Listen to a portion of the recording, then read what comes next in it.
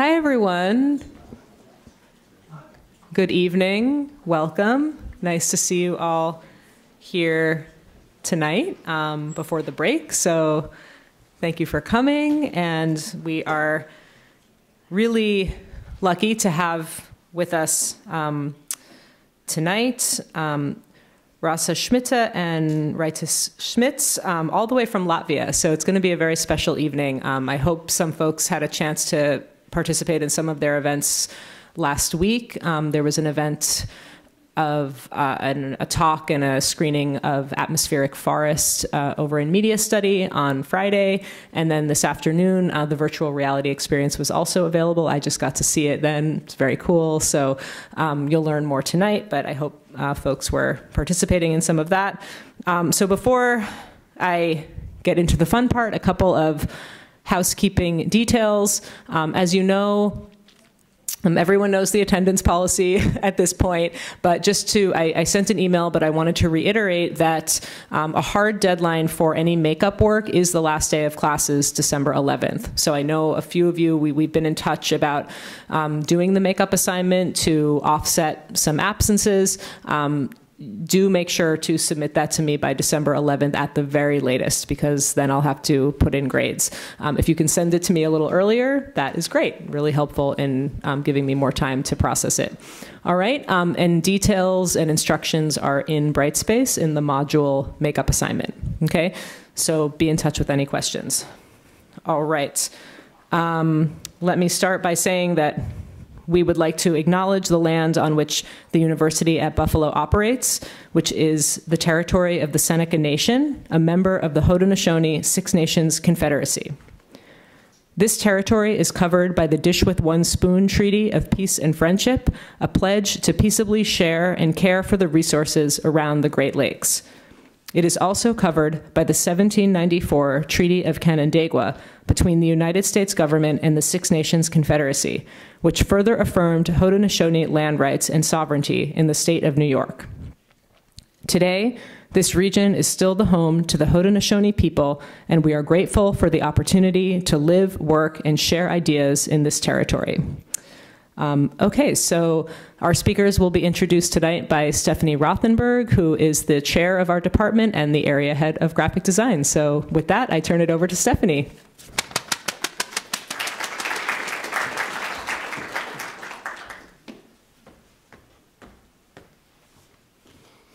Good evening, everyone. I'm Stephanie Rothenberg, and I'm the professor and chair in the Department of Art. And um, I'm super excited to have with us tonight uh, Rasa Smite, who I just always confused on the name, and Rita Smite. Um, as Becky mentioned, uh, they've been here for a few days, actually more than a few days, and we've had a really great time. Um, they've been touring Buffalo and the university and um, showed their atmospheric, uh, atmospheric Forest Project on Friday at a wonderful event. Um, so I'm also really honored that you both are here because um, they've been, uh, this duo has been at the forefront of innovative art and technology since um, the 90s. And they're based in Riga, Latvia, but also teach in Karlsruhe, Germany. But their work has extended not only in Europe, but globally on an international um, scale. And they're not only talented artists, but they're also the founders of an extremely important cultural center that they co-founded in 2000 known as RIXC, which you could see over here, RIXC, which is the Center for New Media Culture um, in Riga, Latvia. And it hosts exhibitions, workshops, um, annual and art and science um, festival and symposium, and also a published journal called Acoustic Space. And so I first heard about uh, Rasa and Raitis in 2004 when it was my first time going to this very uh, internet large global media festival called ISEA, the International Symposium on Electronic Arts. And it was also in, um, in Helsinki, Finland. But it was this kind of um, boat cruise where they took us, it started in Helsinki and it went on, I, I think, almost like eight days, where they had all of these artists on this cruise boat that went all around into um, Estonia, uh, just really interesting. Uh, Professor Paul Vanouse was there. And um, I heard about uh, these artists that were using an old Soviet radio telescope, a decommissioned former top secret telescope that was used by the military that was located in the forests of western Latvia. So, just to recap, um, in 1991, um, uh, Latvia and Lithuania and Estonia, the, um, these Baltic countries, um, became independent from Russia. So prior to that, they were within the Soviet Union. So all of these, all over the area, are all of these, um, you know, objects, relics from the Soviet Union. And so to, this was discovered in the early uh, 1990s. And um, they turned it into a project when they were able to get access to it, and it was called the Acoustic Space Lab. And they started this in 2001, and they worked with artists and radio amateurs, community, community radio activists from all over the world to create, I guess, what you could call a radio art astronomy. So, this really kind of amazing project that was what I'm going to um, that's transdisciplinary, um, right? So this is something that's really important about their practice is they're artists as researchers. So they're really working at this intersection of art, science, and immersive technologies. And they work with scientists, um, sociologists, creating visionary and interdisciplinary artworks that explore issues such as techno ecological perspectives, human plant communication, nature cultures, and a vast array of environmental climate topics. And in thinking about, you know, the artist as researcher, um, Rasa holds a PhD in sociology. Uh, Raitis has a PhD in the arts. Rasa uh, teaches, she's a professor and um, the head of the Media, Art, and Creative Technologies program in Liepāja University, and also a senior researcher at the Basel Academy of Art and Design in Switzerland. And Raitis in 2017, they've spent some time in the US. Um, he was a Fulbright researcher at the Graduate Center at CUNY in New York City. And they've also both been um, lecturers at MIT and the Art, Culture, and Technology program, which is in Boston. And I was able to meet them in person through a really uh, wonderful initiative that was with um, uh, the Baltic states and also um, a Nordic Norwegian uh, initiative called Renewable Futures that went from about 2015 to 2020. And it was a way of bringing together um, artists, uh, scientists, uh, the culture industries, also sustainable businesses to really rethink um, our, you know, kind of ecological crisis that we've encountered. Um, so they're going definitely to be talking about the atmospheric forest, and I hope that um, several of you were able to try it this afternoon in the computer lab, but also some other projects that I've been really fond of. Um, there's a project called Biotricity, and it's a real-time visualization and sonification of bioenergy. So that means that they created a battery, a bacteria battery, a microbial fuel cell, where the electricity is generated by microorganisms that are living in the mud. And then the fluctuation of bacteria electricity gets interpreted into real time stereo sound structures. And then this project evolved, which I'm sure they're going to show you, into this other really wonderful project called Pond Radio, where these fuel cells were um, installed in a giant pond, and um, micro radio transmitters were powered from the electricity that was generated by the fuel cells in the pond. And their artworks have been exhibited um, at you know, all over the world um, in so many different venues, um, but in some really uh, high profile, uh, well known uh, media festivals, but also international festivals such as the Venice Architecture Biennale in 2018, um, media art centers such as uh, ZKM, uh, which is in Karlsruhe, Germany, and that was started by Peter Weibel, who um, unfortunately just passed away, but had been here at Buffalo and was part of um, the uh, legacy of the Department of Media Study. Um, HEK, which is the House of Electronic Cultures in Basel, Switzerland. Um, Ars Electronica, which is a big international festival of art and technology in Linz, Austria. The Beijing Art and Technology um, Biennial and then um, just recently, Onyx Studio in New York City, which is a new uh, media art space right in the city. And also, they were in an exhibition up at OCAD uh, up in Toronto. Um, and also, just to note that uh, in 1998, they uh, won the Prix Ars Electronica Award, and they were also more recently nominated for a Falling Walls Science Breakthrough um, in 2021.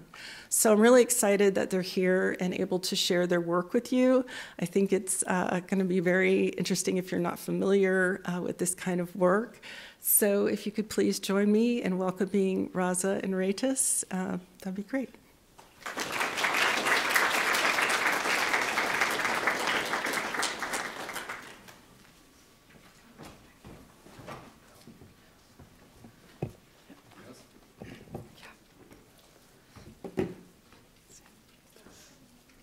Are they on? Yeah? Already switched. switched. No worries, no. Yeah.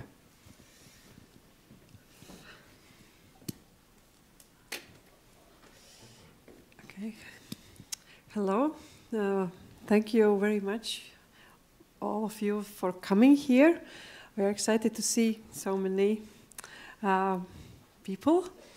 Um, also, thank you, thank you very much for inviting us, Stephanie, and our department. Uh, also, we have been around uh, to see many other places. Thank you, all the colleagues of our department and also of media studies department and also students whom we visited today in their studios. So we have been really spending um, a wonderful time here. Um, uh, yeah thank you stephanie for a, a amazing introduction. So well i can reduce my introduction. Thanks you.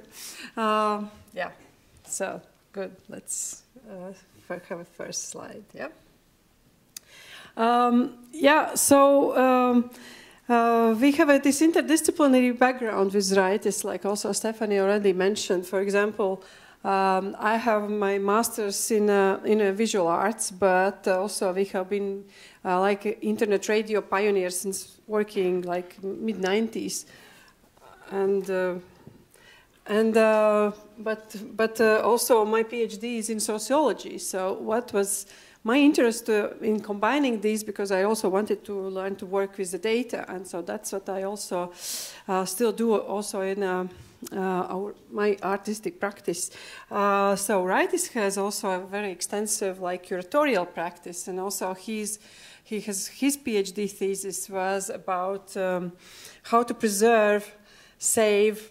Um, renovate and, and um, represent new media art artworks. So all this, uh, all this, our experience also have been, um, uh, we have been putting into into both into our artistic practice as well as in our uh, centers, uh, RIXC activities. And um, so gradually, so we have been also following all the stages uh, of new media, how they have been evolving from the internet to to, to locative media, location-based uh, practices, and later to completely like re nearly re replacing this virtual era with mobile paradigm. And uh, later, about since about 2009, we are particularly working with the topics of uh, of, of uh, how to find rela relations between um, ecology and technologies, ecological topics and technologies, biology and computing, and also addressing climate change and renewable energy topics. Uh, so, what uh, uh, the big, so also we are we annually organizing RIXC festivals. So in 2019, uh, just before COVID, so we had a really large edition of the festival. So it was. Uh, there were about like 25 artworks exhibited, and it was in National Art Museum, which is in Riga, which was recently renovated. Uh, and also we were hosting conference of nearly 150 people coming from all over the world, from about like 60 universities and 30 countries. And, uh, and also this exhibition was, um, was also visited by about like 20,000 people, so which is in small, in Riga, which is uh, size of uh, half million city was quite quite also a big number. So this is how we gradually have been also um, bringing these discourse uh, discourses into the for the wider public. Okay, so yeah, we are organizing um, mm, yeah different events. We have been uh, um, these are the festivals from all, all, during the COVID time. So there also was. Uh, uh, Adams Brown performance from Michigan University. There has been also, uh, this year we exhibited European media artworks uh, from the uh, project, pro bigger platform in Europe, which is producing especially new media artworks. Uh, it's called EMAP EMARE platforms. And then we also have are collaborating collaborating locally with uh, because RIXC has a we are running small gallery, but we are collaborating with uh, this is a very new modern uh, national library building. They have exhibition halls there, so we are organizing projects there. Then we collaborate with Contemporary Art Center, KIM uh, in, uh, in in Riga, and also with uh, with also the, the National Museum. And um, so we are also uh, carrying out projects um, curating, yeah, like I said, we are curating. So we're curating also, uh, like, for example, this augmented reality art project where we were involving also students, our former students from Karlsruhe, from, uh, from, uh, and from Latvia, from Liepāja University, where I teach. Um, yeah, so, and uh, this is the, the recent edition, which was called Crypto Art and Climate. Yeah. So, and that's our small gallery. And here we are also showing different artworks. So this, for example, is what already Stephanie mentioned. So this is our uh, biotricity uh, bacteria battery work.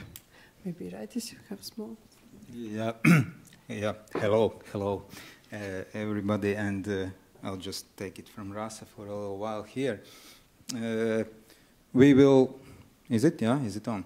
Uh, we will not show in detail our uh, bacteria uh, battery and biotricity project, uh, but it has uh, quite a few versions and uh, quite a few outcomes. So maybe I'll just tell a little bit about it. So how we started, we mm, somehow it has turned out it wasn't kind of really our sort of goal, but throughout our practice, we've been collaborating with different scientists for quite a long time. And this was one of the collaborations where we initially we had a different idea. We had an idea so that we need some kind of a power source which wouldn't which is natural, but it's not in wind or solar, which could be used to power uh, very small electronics for our kind of uh, new project. And some of our uh, friends introduced us with biologists, uh, with local biologists in Riga. And they, so we just came together and they uh, showed us this technology, and that was like 15 years ago, uh, which is called microbial fuel cells if you Google it now, like MFC, so you'll find so there are quite a few researches going on, especially in US in the universities, so where they kind of do research how to apply this technology to different applications like purifying water, also creating uh, a little bit of power. So it doesn't create much power. So and because of that, so it didn't work for our project. But we got really interested in the technology itself because it's uh, on the one hand, it's kind of you can make it uh, very uh, scientifically sophisticated by using different materials and cultivating different kinds of bacteria.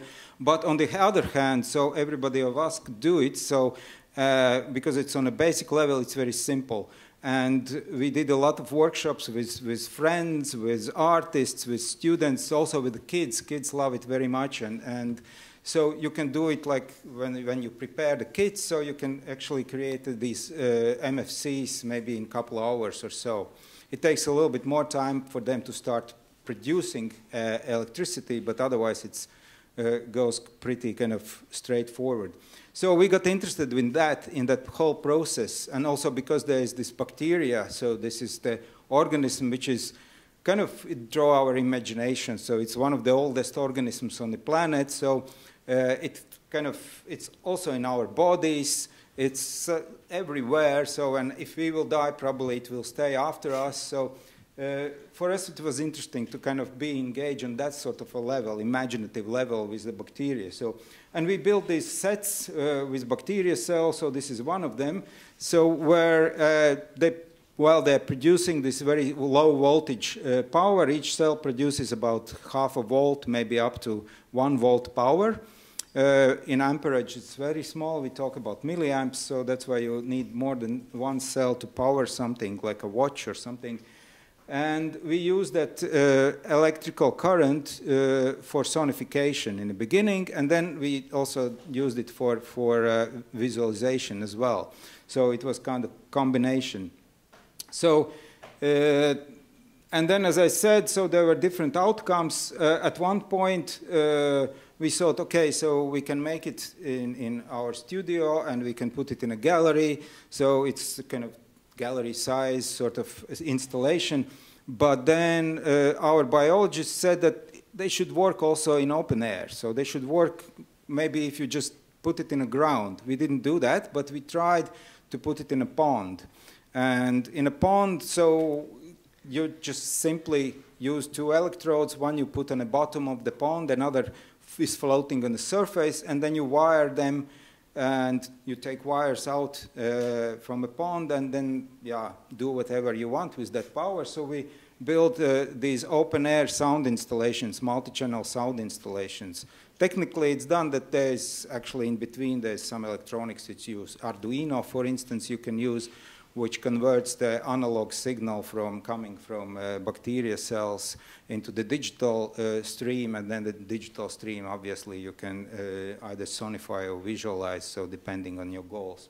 So throughout the process, yeah, uh, we kind of realized that combination, like working with scientists, it's what, what interests us. So but uh, as you see I, here also we put this uh, quote by Naum Gabo, which is the old quote already.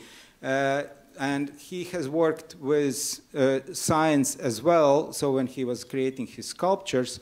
And I like very much the approach that he's emphasizing, especially for us artists. It's important that we can kind of get to know certain science discoveries we can get to know scientific processes, but we need to have our own vision to take it further and to create an art project out of it. So not just become kind of illustrators for that or another uh, scientific uh, process, but have our own vision and have our own concept and, and bring it out of the lab and create an artwork with, with the vision of our own. So, and yeah, so this is uh, another uh, American artist who was working at MIT uh, at the time and uh, had this like also be involved in, in the uh, art and science collaboration.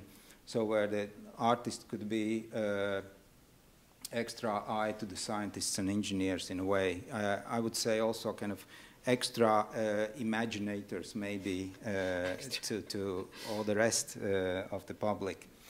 So, uh, yeah, maybe. Uh, and Stephen Wilson, yeah. Uh, just, yeah, I just put those quotes for kind of which inspire us, and maybe it's also inspiration for, for you who work uh, in, in a realm of technology and, and also science and art. So, Uh, Stephen Wilson uh, is also a legendary person, and I recommend he has written this book. It's almost like encyclopedia, uh, which where he kind of goes through all different kinds of art projects which are related to technology, and it's called Information Arts. So it was published a while ago uh, by MIT Press, and uh, he has unfortunately passed away already but uh, he has done like one of very few artists and theoreticians who has done this sort of uh, encyclopedic kind of uh, review of so many artworks which are uh, dealing with uh, science, technology, and art as well.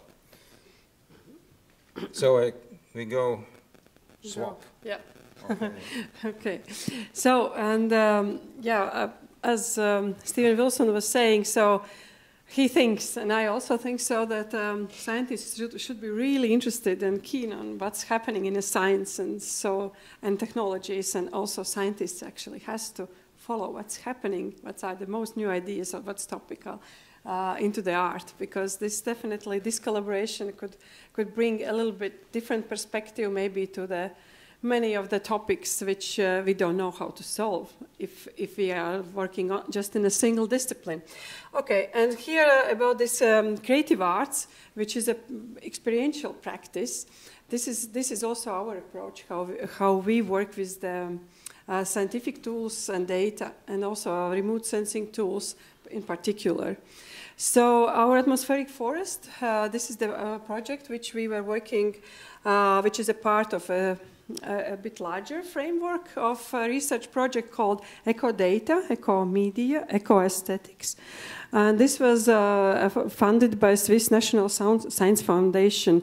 And the main idea of that project was uh, to find out uh, how art can use scientific tools, scientific data, and media, which, which are used in science, in order to, to better understand and uh, become aware of ecological uh, issues.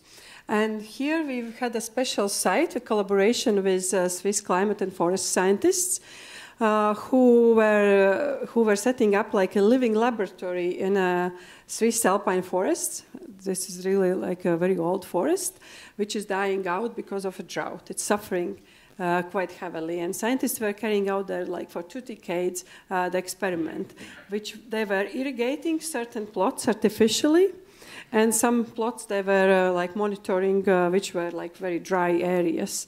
So for uh, about 10 years, they were carrying out this one project, uh, really like marking and measuring shrinking trees and also growing uh, species uh, which are new there, and, and, also measuring the, the, yeah, the, the different these volatile gases which are coming which trees are emitting, and this is where we are coming. So these were the scientists also on Friday, we were showing this, uh, what they are saying, because I was interviewing them, uh, also, also asking for to give uh, their feedback about what they think about collaboration with artists.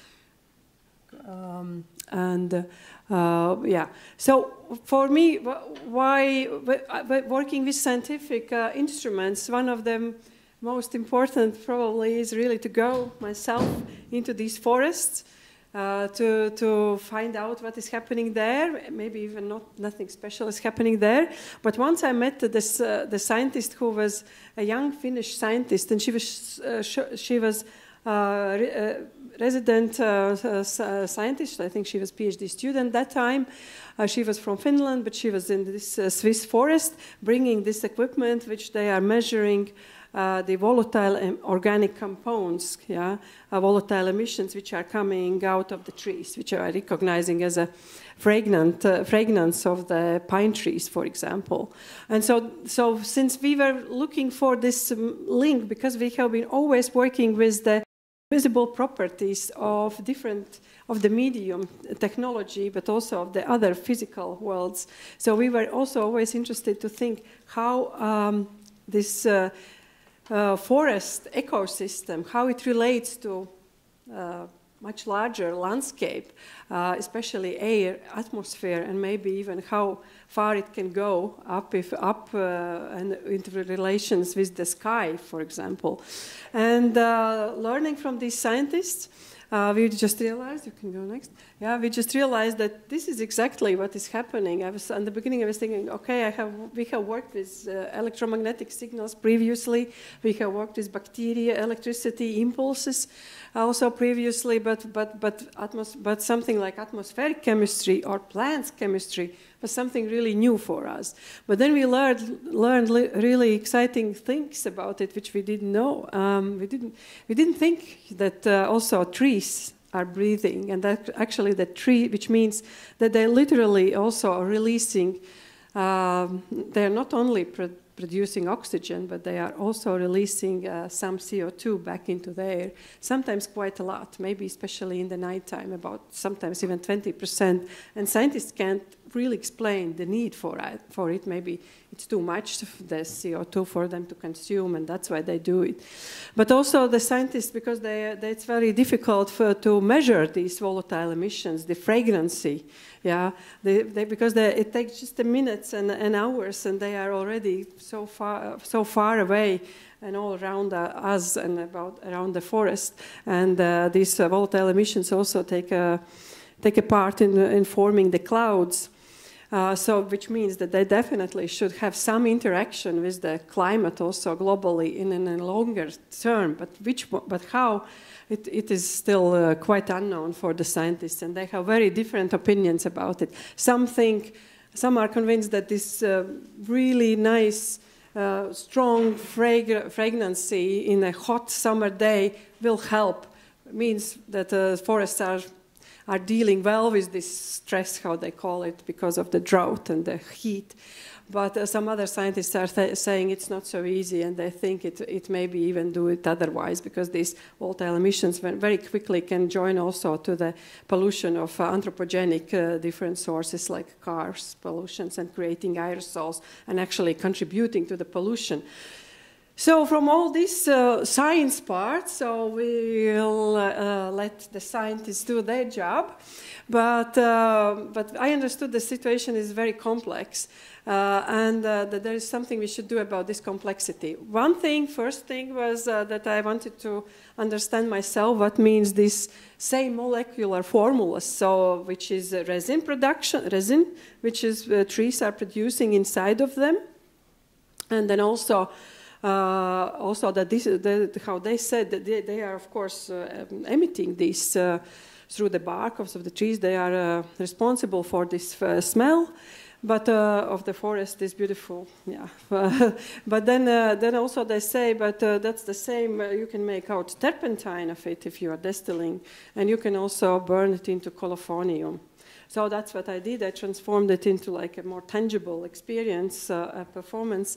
Uh, so which I did in a first in my countryside. First one took five hours, but then later I, I, I reduced it into about 15 or 20 minutes, and then I could present in some exhibition openings as well. So this is, uh, I was very happy to get out some drops of turpentine, just very, very, very simple distillation process on a hot tube uh, burning and melting the resin and pouring cold water on it.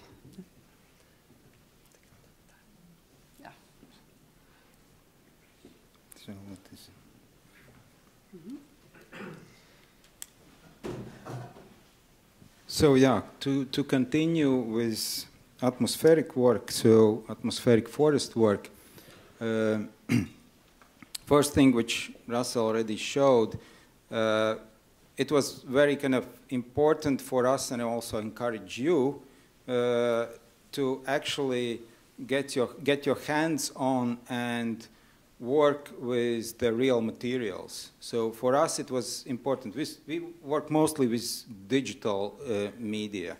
But in this case, first we wanted to actually touch and, and, and see how it feels. And that's why we went through this kind of process of melting resin and, and uh, it and, and, and getting out different substances of the uh, pine resin. So uh, then, of course, we came back to the actual uh, idea how we kind of could proceed with the work.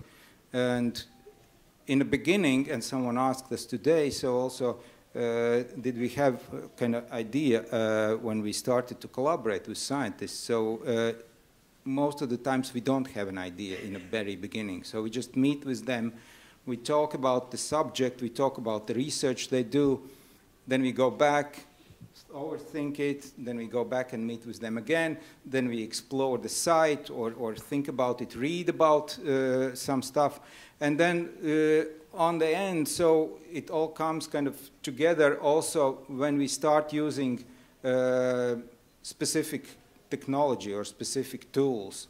Like in this case, uh, it started with the LiDAR scan. Uh, Rasa got the opportunity to use this very uh, high-end uh, LiDAR scanner, which has high resolution and, and reaches like about 100 meters distance.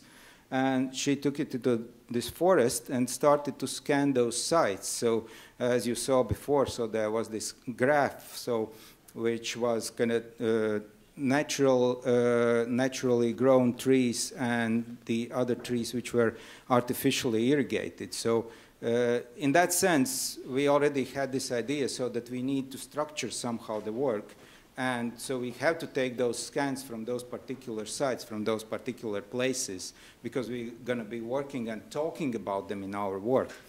So, and then she brought back these scans, and those scans looked uh, very photorealistic. Uh, there were lots of points in those scans, and they were kind of looked uh, good by themselves. And those are 3D objects, so those are not pictures, so it's a 3D object. So uh, when we re reduce the points, the point, point uh, count in those scans, uh, mainly for two purposes, for aesthetic, for visual aesthetic purpose, and also we wanted to reduce the file size to, to work with.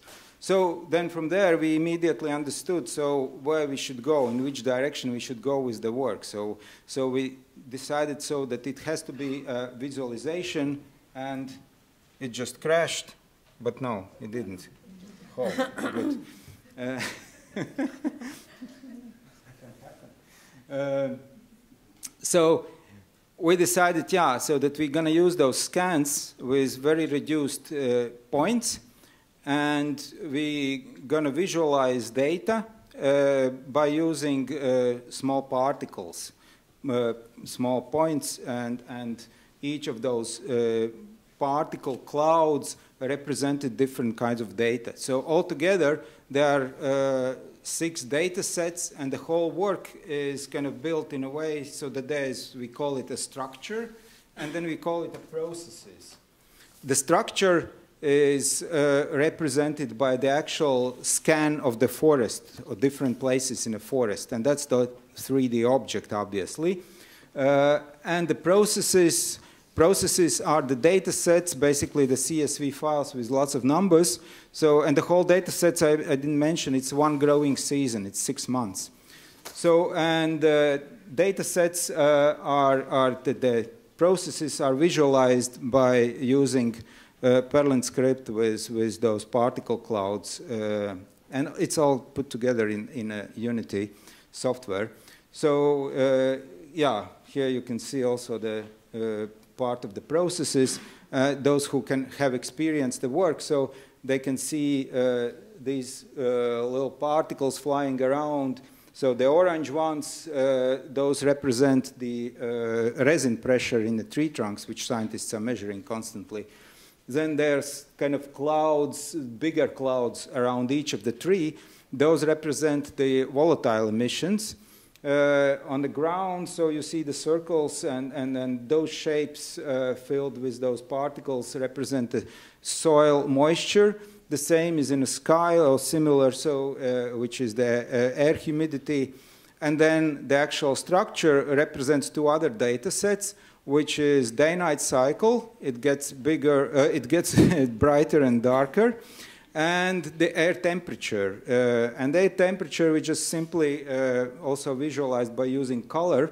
So in, in, in when it's cooler, uh, it becomes kind of bluish. And when it becomes really hot, sometimes the forest can get really red. Uh, all the other time, it's something in between. So the work is built in a way that uh, it's all Unity app at the end. It's a build, but uh, then these are five scenes, which I'll come back to them later, not later, but right now. Uh, but uh, the actual work, uh, yeah, the five scenes which represent, the first scene represent trees, three, three trees which are growing in natural environment. So then the second scene is actually representing the whole site and the pathway to the site. So it goes along the canal. Uh, third scene, it's uh, irrigated site with three trees uh, with, from irrigated site. In the fourth scene, we took away structure. We took away structure and we just left pure data and uh, small particles uh, with the resin pressure and, and the soil humidity and air humidity as well. So it's just, uh, just the data and just the processes there. And then the fifth thing is kind of everything together, both sides with the structure and with the whole data. Uh, it also has a sound, and the sound is uh, actually composed particularly, uh, it's not a sonification. We have sometimes for other works sonification, but for this, this work we kind of felt that there is already enough with the visualization and we thought we need to kind of compose sound. So we composed the sound for each particular scene uh, according to what is kind of happening there and according to our how we feel it. However, we used uh, samples which we recorded in that particular forest and also sound samples which we recorded while Rasa was melting the resin, while, while she was kind of having this fireplace and, and, and uh, crickling sounds from, from the fireplace and also the resin melting process. Then it was kind of post-process uh, uh, in, in a sound software and then we yeah, did the composition for the whole piece uh, together. Uh, it has, uh, yeah, it's, a, it's now are you going to play it? Or how we? Yeah, I will play it. Mm -hmm. uh, it has several formats, so just talking about practicality. but maybe it's good for you to know sometimes, so behind the scenes. So we were commissioned to do it for a large exhibition, Critical Zones in ZKM. And uh, that was supposed to open right in the middle of COVID lockdown. So they couldn't open the exhibition, but they kind of it was scheduled, so they decided to open the exhibition, but virtually. So they asked us to have a, uh, something for virtual exhibition, which will be over the internet. And then P Peter Weibel at that time still uh, was around, and he said uh, this nice quote, which I like to mention. He said that the museum has become a television. And it was really set like that. So, and uh, we created this 360 uh, video just for the internet, and it's still available. So uh, from ZKM site, you can navigate zkm.de and search for Critical Zones exhibition, virtual exhibition, and it's there. But uh, then they opened it uh, after half a year or so. They opened the real exhibition, and initially we thought that we're going to make it just for VR, but the VR was not allowed because of hygienic blah, blah, blah, and, and, and uh, lockdown and COVID.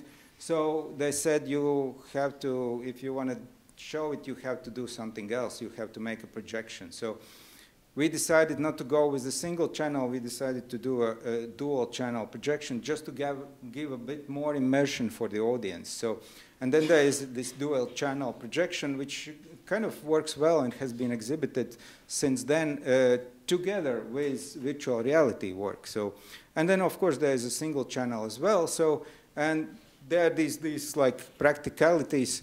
So, because virtual reality work is not interactive, so we were able to create a video out of it, which is rather, I say, it's a good practice because the virtual reality work will be will have to be rebuilt after a certain while if you want to kind of experience it after I don't know 10 years from now it will definitely not work because it's built for this particular equipment for HTC Vive, and who knows what will be after 10 years. So, so therefore, the video will last as long as we know the video as such. So it's a good kind of practice to put everything also on a video. So however it kind of silly might sound. But uh, definitely virtual reality can be restored after a while and uh, for instance, there's a, a virtual reality work by Char Davies, so which has been restored recently. uh, and which was done in back in 90s, mid 90s. So uh, yeah, Show. we can show maybe a little bit uh, from the it's yeah it still has time so this will be uh, from the one channel video which we also screened here and we'll show maybe a little bit from that the first part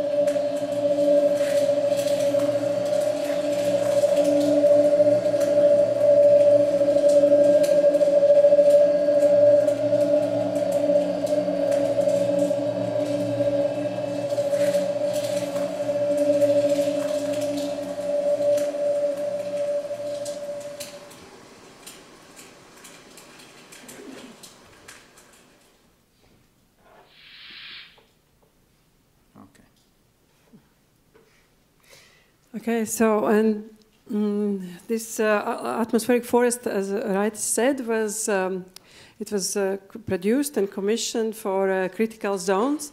The exhibition, which was curated by Peter Weibel and also French philosopher philosopher Bruno Latour.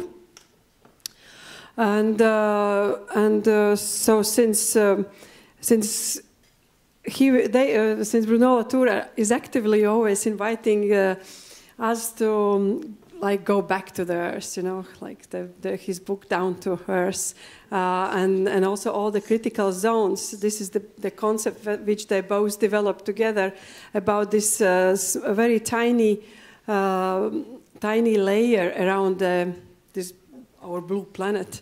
Yeah, so actually, all life is happening, and this is just a really like a few hundred kilo, 100 kilometer up and down, and that's it. So nothing else, nowhere else the life is happening. So they were really pointing uh, our attention to it, and they were also using similar. Uh, similar um, uh, science, science, these living laboratories, uh, observ observatories, how they call it, yeah.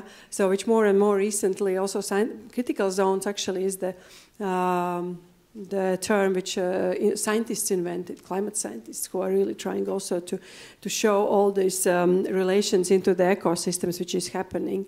So, but this is all about this because we, we didn't. Uh, then we recently also were commissioned by our Contemporary Art Center, who who were making um, uh, a, project, bigger project, European about post-social ecologies.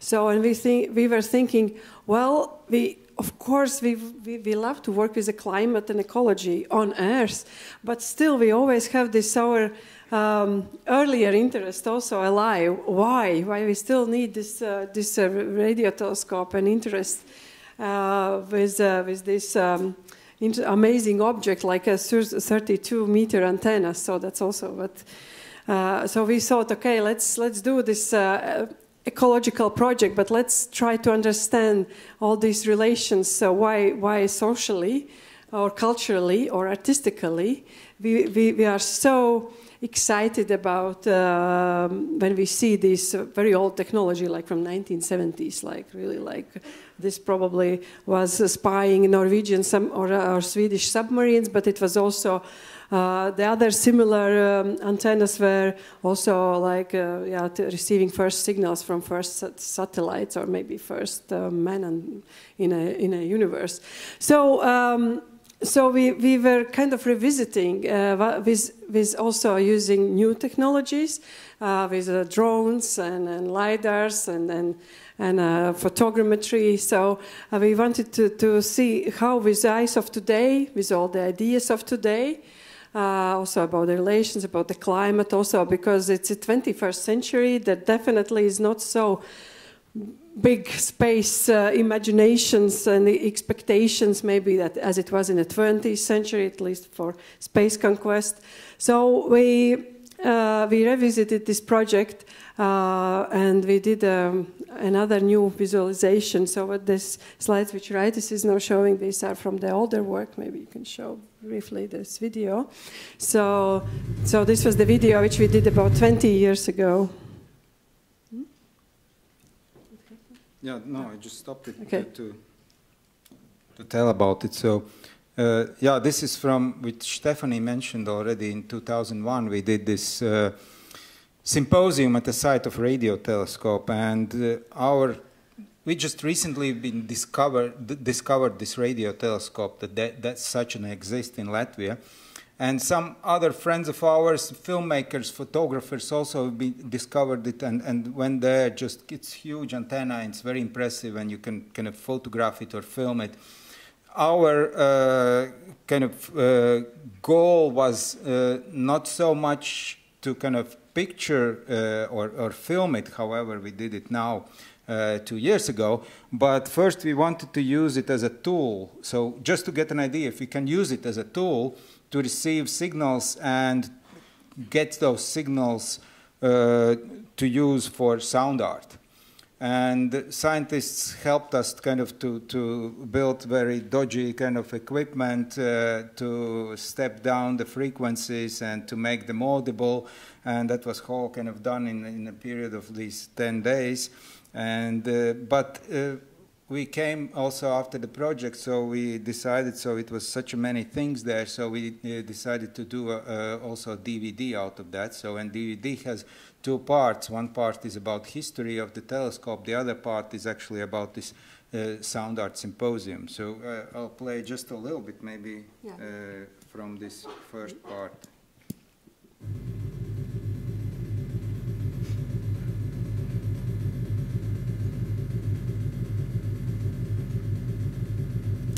Not many things have changed, though. If you go there, it still looks very similar to this. So. Except antenna is renovated.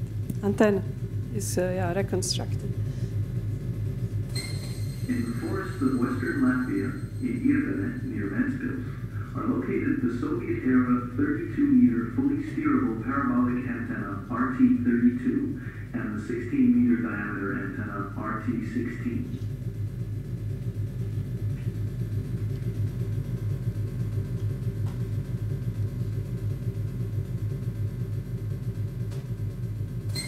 Only in 1993, when the withdrawal of Soviet Army forces from the Baltic states was negotiated, was the existence of the antennas and previously top-secret communication espionage center Zvyozdotchka revealed.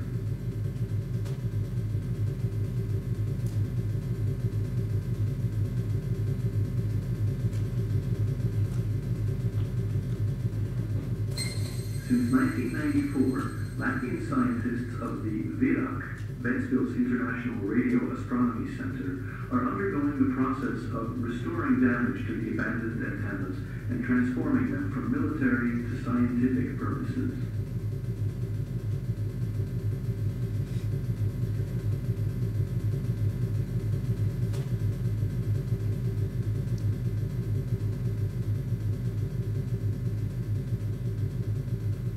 To explore the antenna's potential for civilian and artistic use, an International Acoustic Space Lab Symposium for sound art using radio and satellite technologies took place in August of 2001 at the site of the RT-32.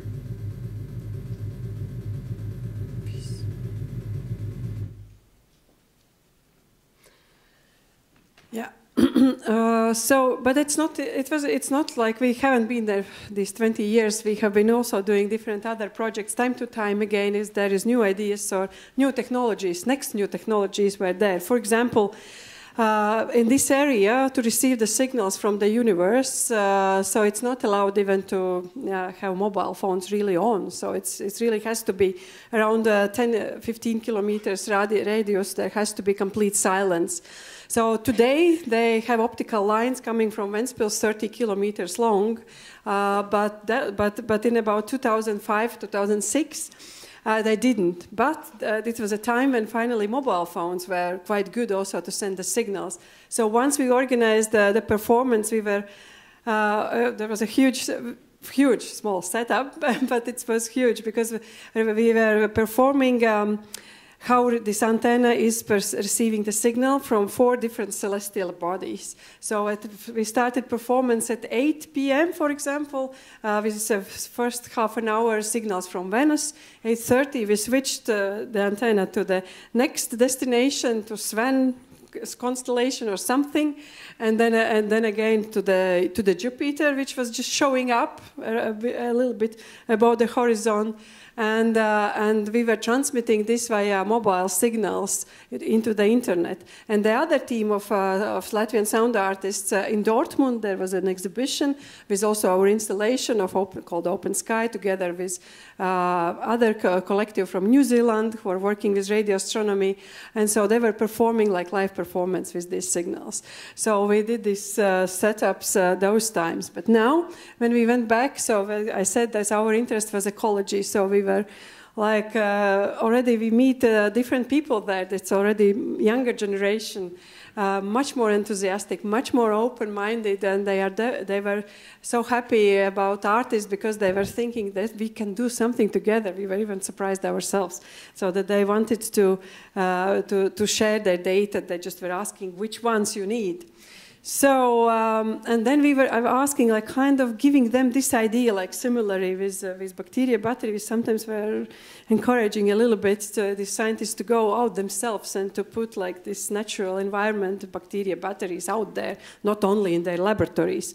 So here we also were asking what, what, what, what this guy would, would say, he's a quite young uh, radio astronomer, what they would say about if they would collaborate with Earth scientists with, like, meteorological data and uh, and they would uh, use AI tools and, and, different other tools like to to have this understanding how solar um, radiation is affecting ionosphere, for example, and how this signal uh, is interacting with winds and the earth. So this was also, then he said, yeah, that could be quite interesting. So he happily provided us with these data so we could again show this only the complexity, not, not really the solutions, not really what, how they really affect uh, all these uh, layers um, uh, each other, but yeah, maybe. But yeah, maybe uh, just uh, as Rasa said, so we had this uh, opportunity to do to make not to continue with it and to create another work uh, using radio telescope and, and data provided uh, by scientists uh, uh, about solar activity and ionospheric changes in ionosphere because sun, sun, affects it. So we thought how and what we're going to do it. So and we saw that this time we actually need the actual telescope as an object. So I just put here, like for practical reasons, to show that there are some, we did some uh, rough photogrammetry with drones, so because it's like 20 meters high. Oh, 70. So, oh, 70. yeah. So, so it's, it's quite, quite a work. So, and you need actually to have it more detailed. You need maybe 10 times more pictures. So, but as we said, we thought we're going to use it as a point cloud. So we will just be enough in our case uh, for, for the, uh, our needs. So uh, we built a model uh, in, in, in point clouds and then we uh, visualize this model using the data sheets, what they provided. So, uh, and there are two kinds of work. So where in, in one version, the uh, data is just sonified and the telescope is rotating and uh, the camera movement is pretty constant. Uh, and the other work is where actually we have larger immersive installation where we have also sonified data and we have also controlled uh, camera movement and by the data sheets and also controlled uh, uh, different uh, effects which are uh, applied to those uh, particular scenes. So I will, yeah, this is the look from the exhibition. So we show the older works in those smaller screens on the on the wheels and then there's a larger uh, screen uh, with the newer work in the background. And little, this is a little excerpt from the one screen version.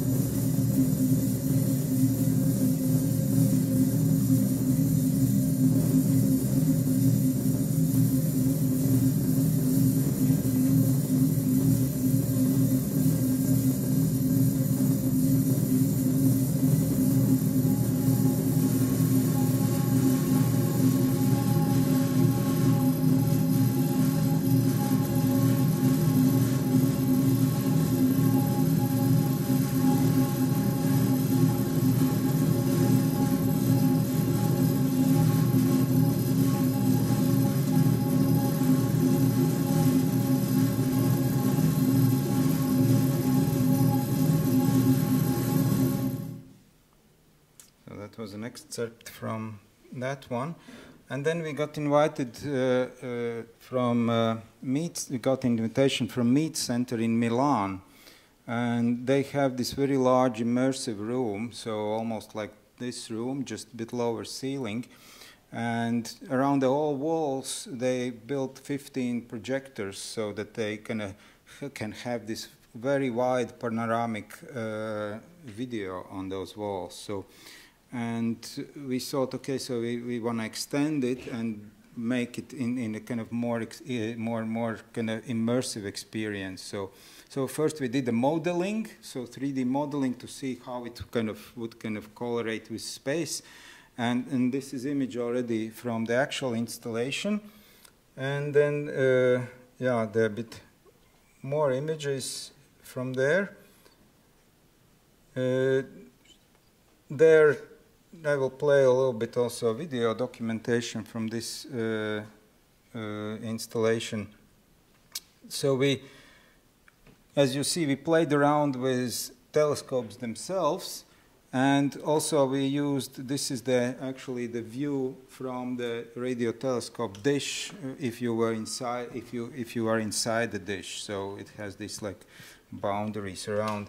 So, and here is a small video documentation. I will just jump maybe to different stages so that you can get an impression.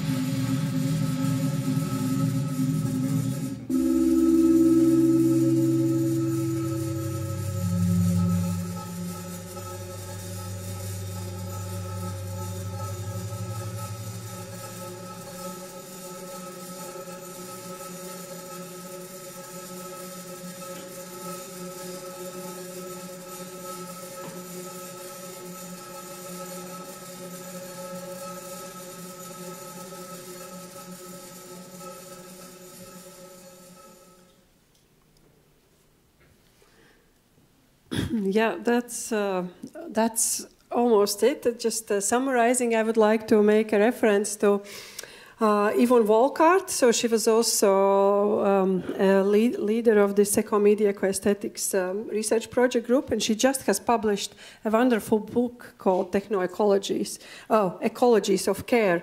Also, there is, she is writing about atmospheric forest. Um, and she was say, saying that ecomedial techniques have become intermediaries between worlds. So that's what she was saying also about atmospheric forest. That's what we can also say how we work with the data and also with deep sensing. Yeah. So we are also publishing uh, the books uh, along our conferences, uh, also uh, around our findings, uh, what we what we learn from our own artworks, and um, yeah uh, Green Revisited, I, am also giving to Stephanie, so this book will be here. this is covering, oh, this is covering um, uh, mainly COVID time festival editions uh, in Latvia, starting the Green Festival, continuing with Ecodata, and uh, finally with Post Sensorium. Um, yeah, thank you.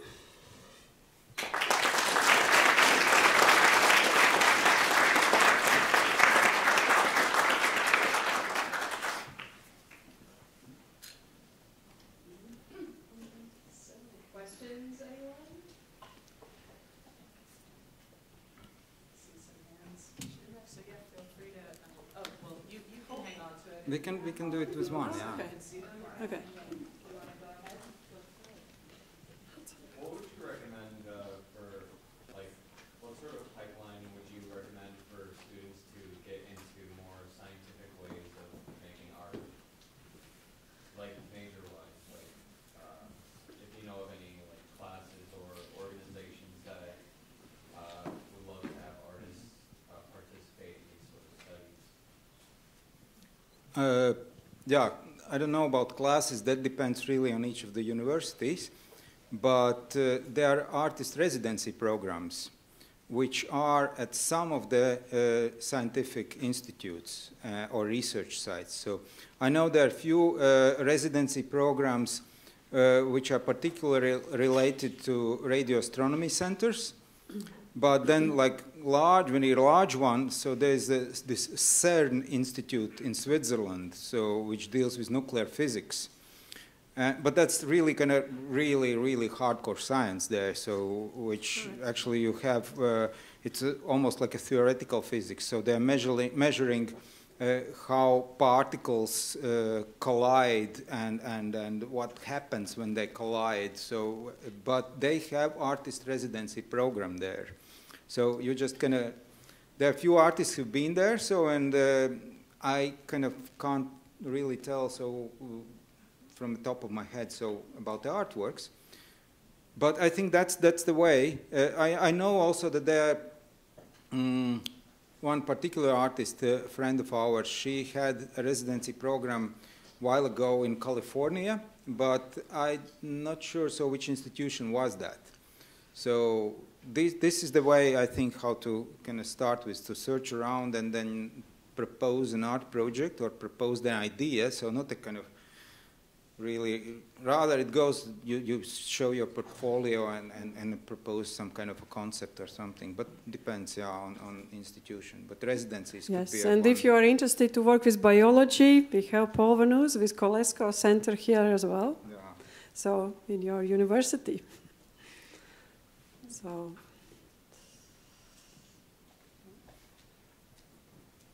I have a question. I was thinking, actually, seeing your quote from Bruno Latour and uh, your Bible made me think of it. I wanted to ask you about the relationship between that, that early work with the antenna and the latter work with the forest.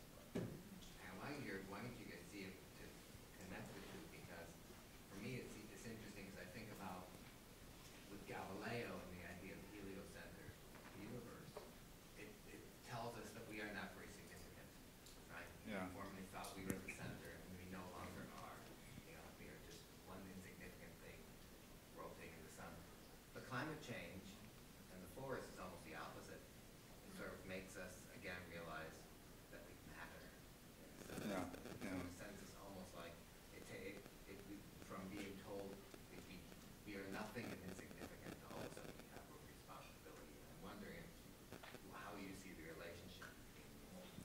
It was kind of initially, I think, yeah, thanks for a very good question. So it was our try with the radio telescope uh, lately when we went there. So to try to see this, because also I see there's a kind of, I- it's a it's a big gap and it's a, a little bit also contradictory, kind of uh, using these right like huge uh, space exploration technologies, which are kind of sophisticated, expensive, and of course it drives like what is up there. So this drives kind of our uh, curiosity and, and interest, and, and I'm, I'm not talking about kind of military background for those technologies. That's a different kind of case.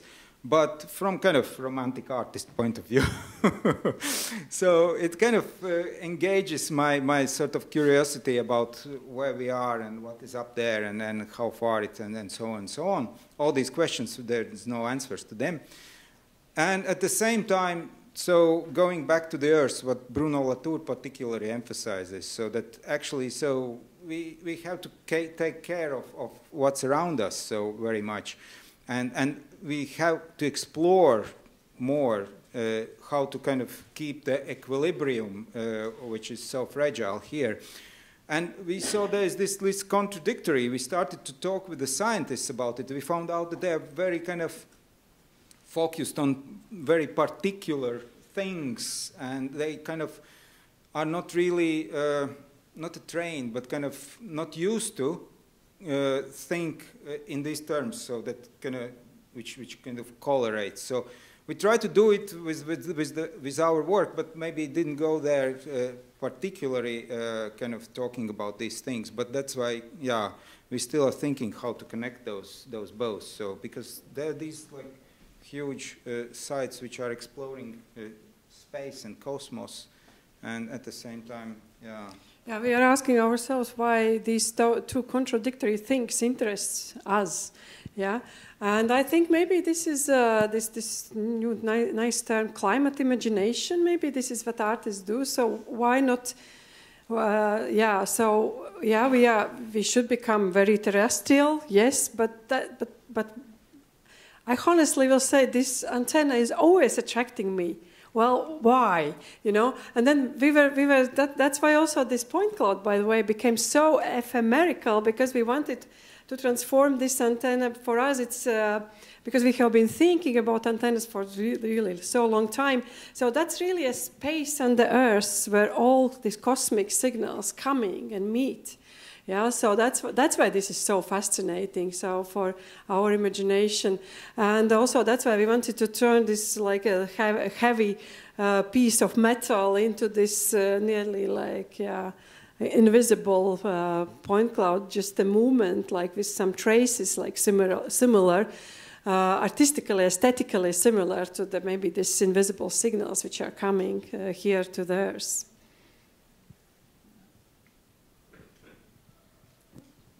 Um, I have a question that's very similar to something that Stephanie asked you on, on Friday, and it's going back to this, um, uh, this what, what you describe as these contrasting spheres of like science and art.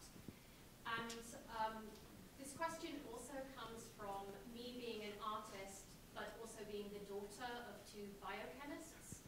And still today, I'm 42 and my dad still sends me pictures from his gastrointestinal journal that he receives of like samples with different colors and he'll say, oh, I know that you'll appreciate this, you're an artist, like look at this wonderful colors and blah. So I'm really curious as to what the, did, did you talk about aesthetics with the scientists and how did they react to that, or what were their thoughts about aesthetics? And uh, where were the points where you felt like there was just total clash or disconnect? And where were the points where you felt like there was a real kind of coming together, Mhm, like, mhm. okay, we, we, we have a similar sense of aesthetics, we understand what that term means, even though we are in these, you know, very different spheres. Yeah, we have um, asked these questions to the scientists showing atmospheric forests, And uh, for them, then uh, the, the remote sensing guy, he was saying, "Oh, I'm almost jealous because this is this is something uh, where, which I would like to see, so that there is this structure, yeah, and then also process is happening in it, like in a time scale. So it's a one uh, growing season which we are visualizing. There were about like 3,000 data, data rows of about like four, it's about like 70 days. Yeah. So, so it's all together many measurements. Uh, yeah. So, so this is what they said, but about uh, about um, radio astronomers. So they were really excited. Uh, we don't know. We didn't ask yet. Uh, but uh, so they, they were because they really started to see the potential, so that uh, their science could be somehow delivered, maybe for more understanding uh, through whatever we do. Maybe let's say maybe they were quite also open about it.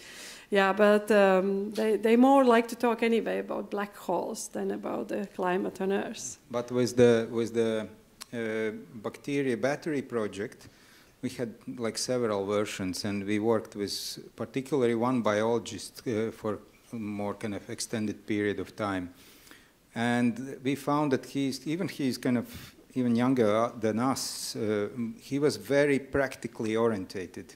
So he was very excited if something worked as it is supposed to work, uh, where he was not really interested in our sonification. So kind of, uh, but when we set up, there's another one version of that installation. It's in Berlin in Futurium Museum, where three or six, six or four cells, I forgot, uh, are powering one electronic clock.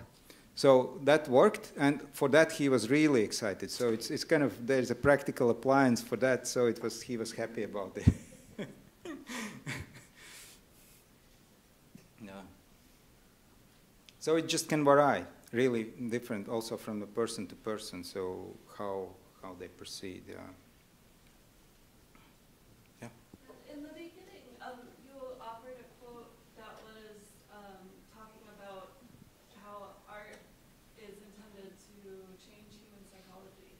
I might be misremembering it, but that there's a point, there's a, there's a, a push out to the viewer. And so I was curious if you would talk a little bit more about what you're um, hoping to accomplish with your art in terms of, you know, it's clear to me that you're, you're working to bring a lot of attention to what is unable to be detected with our senses in terms of what's going on in the, in the atmosphere and the, and the biology and all of the things that are around us all the time and in us.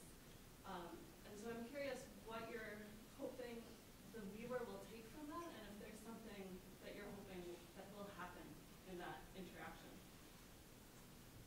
It's an interesting question. So, because uh, I think I've been thinking about that. Uh, but, uh, as more as I think about it, uh, as as as uh, closer I get to conclusion that first of all I actually do it for myself.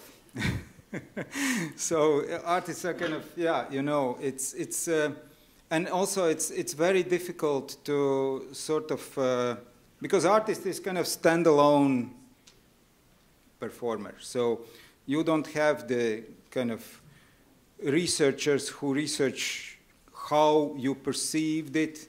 Uh, you write it down, I do, my, my people do the research, and then they come back and say, okay, this should be changed that way. If you want to achieve these goals, this, that should be changed that way. So artists don't have these kind of institutions in a way, they don't do that. So I would say uh, it, it goes in a way that we, because we work also in a team and we work in collaboration with others. So it's pretty small circle uh, how we work and how we kind of discuss it and, and achieve what we kind of think about should be achievable. So then the rest is really in your hands. So I have no control of that. So no idea how what will happen. So whether you will receive it or not. So will you leave the room, we will watch it. So yeah. I, I really honestly so. No but yeah but just to add when you say uh, yeah because what interests us yeah personally uh, that definitely is interesting many people. I mean in this uh, time what we want to do we want to show yeah our interest and our how we see, how we, uh, uh, what is our perspective, what we find out interesting, and this is what we want to share with our work also about ecology, about uh, the science, about uh, these relations between the atmosphere and the terrestrial uh, ecosystems, for example. So, thi- so this is definitely, but, but, but, but also, I think we are also quite, uh, after these really many slow years of working, um, we, are, we also have achieved uh, at the moment the point where suddenly also there is a bit flip happening with our own perception and like uh, and we start to, to show also the interest actually to try to understand how uh, this our work is perceived. Yeah because before we, especially with uh, with bacteria battery maybe it was not ne- necessary because we also were thinking is it uh, working? Uh, how to sonify? So what's happening in invisible? But somehow with these works uh, yeah, because maybe of aesthetics, because of the potential how this immersive media are evoking uh, like some emotional response into the people um, through especially VR, but that's already another thing. You are already embodied. So here we show the picture only, yeah. So uh, only aesthetics, but then you are embodied. So that's already a very different experience. All your body, you are kind of feeling. You, some people say that you, really feel the smell of this forest, you know. So, so I think this is something again a new, new field for us uh, where we are just at the moment uh, trying yeah, to also research. So we feel more already in the side of research with, with your question. Yeah, however, so I just thought there's another part of us which, which Ras- Rasa mentioned in the beginning. So we are curating uh, festivals. And within a framework of these art festivals, there we actually become more rational. So we, we think so what we want to achieve because each festival has a certain theme. Uh, we invite uh, people to participate, artists participate, also uh, people giving talks at the festival. So there we kind of really uh, thinking rationally. So how to achieve it and, and what we want to achieve with, with each particular edition of the festival. So maybe it compensates. because it's more e- because it's more easy to, to, to make these decisions also aesthetic and dramaturgy of the space uh, about other people's work than about your own.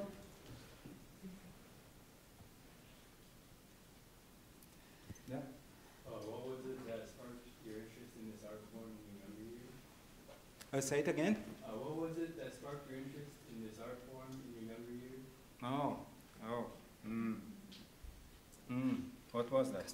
What was spark? What sparked your interest in, in, in, in this art form? So, probably, uh, I think when we go really back, so in 90s when we started to work together, uh, that was the kind of special period of time. So when when Iron Curtain broke down, Soviet system broke down, our country got independent, and uh, internet medium uh, came, became available to everybody, to us also in the west, in the east. So, and we kind of met with with many interesting artists and people who were really kind of communication hungry at that time, and from one side there were people, and from the other side there was this new uh, digital technology which started to emerge as a tool because we are classically trained, so we know how to paint, we know how to draw. We are classically uh, trained uh, to do a uh, classical drawing or painting. Uh, we can draw portraits of figure or, or paint it. So not anymore because we have lost maybe, some of those. But I need to kind of bring it back. But technology was something absolutely new for us. So, and because of these possibilities of uh, being connected with others uh, in different other places, so that probably was the trigger. And then afterwards, it just goes in different directions. Yeah, until until the about like two, about 2017 when you brought this first VR or VR set. So this is then we finally had an interest also in 3D with uh, this uh, aesthetics, just because it was possible something like photogrammetry, these point clouds. Because before um, this aesthetics, which was 20 years ago of 3D, was not really yeah triggering us. Um, I guess. Um, what I wonder is you talked about being trained in classical art, and how do you think, even if there's a way beyond aesthetics, that that has kind of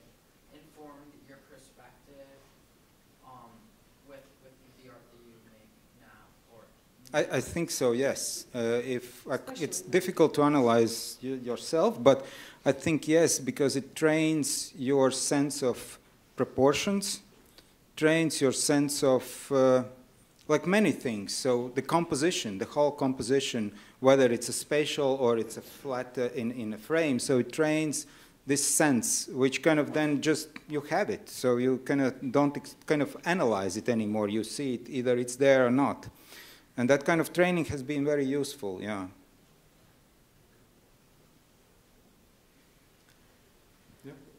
Um, so as we build like these massive antennas, uh, telescopes, and then the technology moves forward and they're left decommissioned, abandoned, forgotten about, do you think they have a lot of potential of becoming a space for artists? Um, and do you see that like being a path that a lot of artists go down? It's expensive, I think, to run them. So that's the thing. But uh, we had this chance in 2001 uh, when we went to this site of radio telescope. There's a Marko Peljhan, an artist, who said this kind of quote also, which I mentioned, so that we are now in this gray zone when militaries have left and scientists haven't arrived yet. So, and that was possible to do it. So the radio telescope, it functions now, but it's now it's uh, expensive to, you can hire it. They, they can kind of point it to certain whatever direction. You can get the data, but you have to pay for the time. Uh, if it's abandoned, um, yeah, that's the question, like how to kind of make it being functional or, or who owns it, and, and it's each case is different, I think. Yeah, and I think they just uh, the future of these antennas. It's this is still working 24/7, uh, more than ever.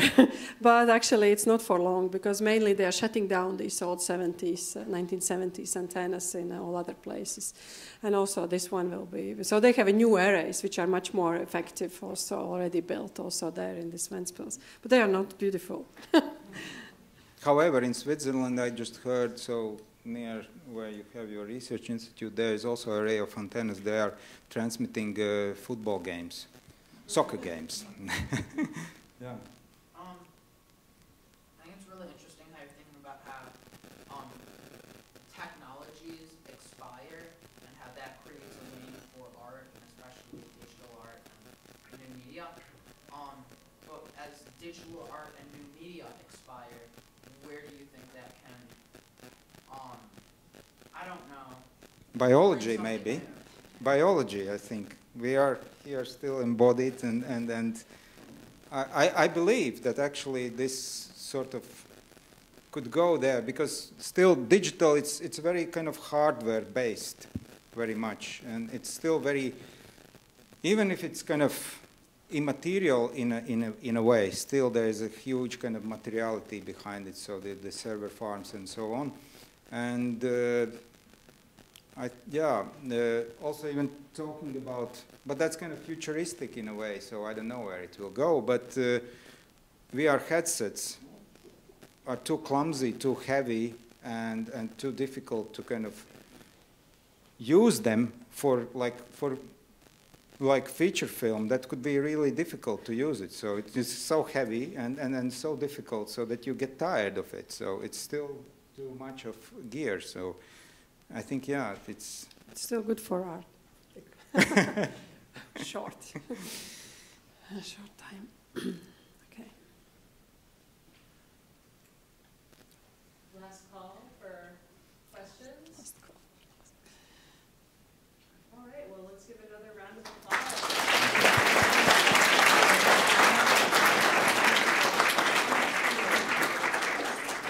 Have a lovely break, everyone, and we'll see you back here next week.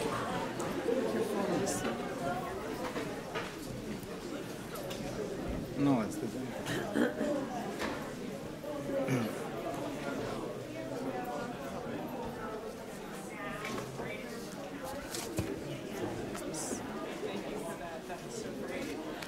Thank you. Thank Bill, you. Thanks for having us. Oh, our pleasure. You, th- this weird message came up on your computer about an airdrop. Did, did you see it? Here, this, um, oh, you took it out. I don't.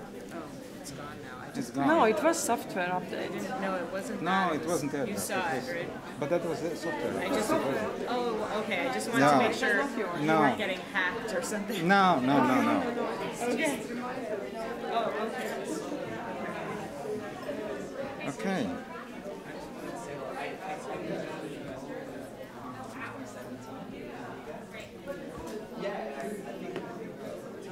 Hour 20. Yes, perfect. no, you got some great questions. Yeah, it was really good. So I appreciate those very good questions. Yes, um, from um, um, Paul's son, Very Yeah. What is he studying? Um, he's, he's only in high school. He's in high school. Yeah, yeah, he's doing art.